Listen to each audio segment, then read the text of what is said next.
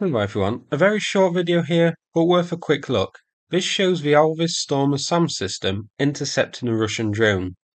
Given the speed of the missile, it isn't using Star Starstreak, but rather the Martlet missile, also known as the LMM, or Lightweight Multi-Role Missile.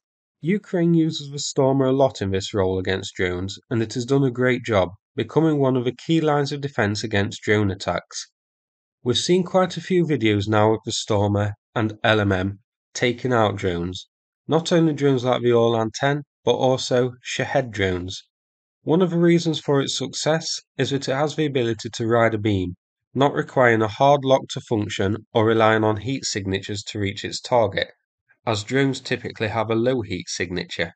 It's guided by an advanced electro-optical system, making it very precise and accurate, it has a range of up to 8 kilometers and can travel at Mach 1.2 and is very maneuverable.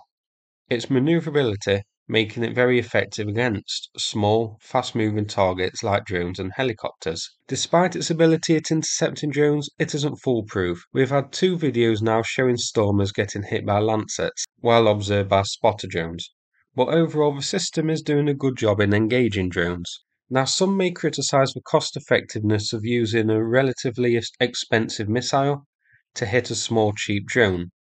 But the cost isn't so much the drone system, but the damage it would cause if it was, say, an armed drone like Shahed and it reached its target, or the damage caused if it's a spotter drone like an Orlan 10 and called in artillery on its target. That's why it's worth using a missile on them. Unfortunately, only about six Stormers have been sent, and two of them have been hit by Lancets, lightly damaged.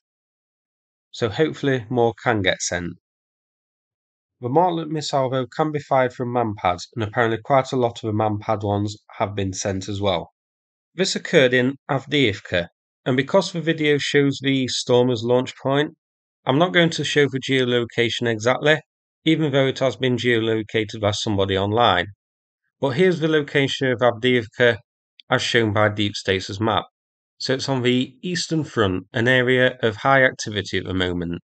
So it's no surprise that stormers, proven to be effective against drones, are deployed here to defend against them, as this is right on the front line, an area of high activity.